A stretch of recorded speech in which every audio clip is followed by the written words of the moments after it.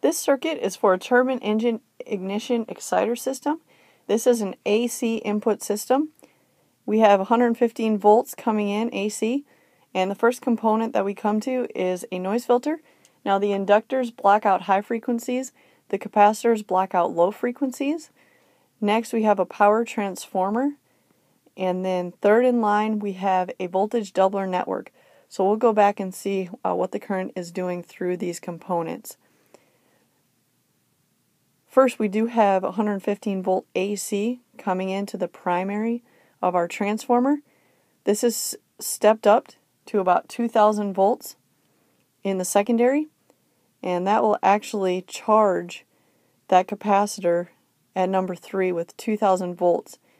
Now, when the current goes the other way, because we have AC through that secondary, the voltage of the capacitor at 3 is added to the voltage of the transformer itself, the secondary, and so we come out with actual 4,000 volts of DC pulses at point 6 and 7.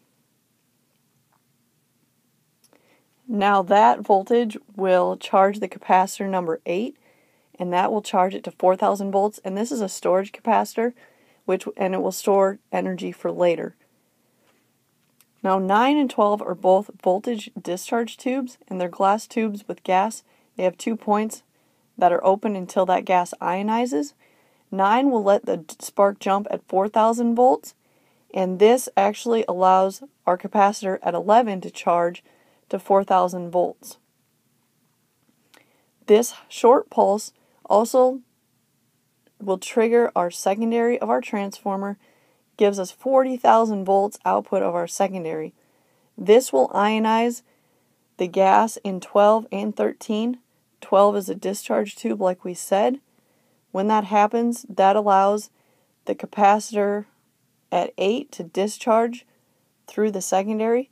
So we're getting 40,000 volts plus the energy that was stored in 8, and this is going to prolong the spark that we see in 13, which is our igniter plug. So that energy that was stored in 8 discharges. This helps it to hold the spark longer. If you're wondering what 12 does, it isolates the circuit. Otherwise, the 4000 volts that was in the capacitor at 8 would try to jump across the igniter plug. So we have 12 to isolate that part of the circuit.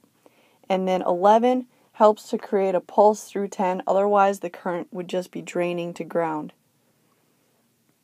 Everything inside the red square is our igniter box, and of course 13, our igniter plug, will be out at the engine itself. Thanks for watching.